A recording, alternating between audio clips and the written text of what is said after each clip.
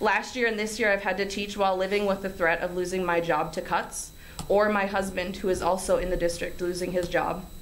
Last spring, for the first time, I had anxiety because of looming threats of cuts, and I had to seek help from a therapist because of this stress. So I want you to know of the intense mental health toll that this budget situation takes on teachers. Each day, I show up and try to be my best self for students, but it's really hard to stay in this profession. I want you to hear that. I love kids. I give my heart to being a good teacher. But it is very hard to maintain a healthy work life balance in this career and to be a good teacher. I work on Sundays, I work at nights, I put in all this effort. And right now, especially social studies teachers are being devalued by our society.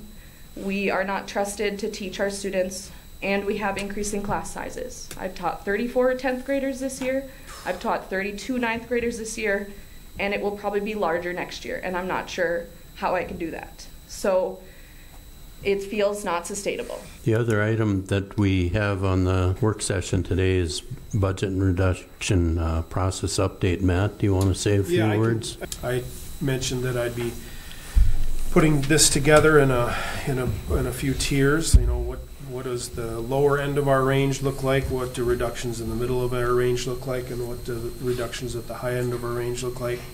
Um, It is challenging.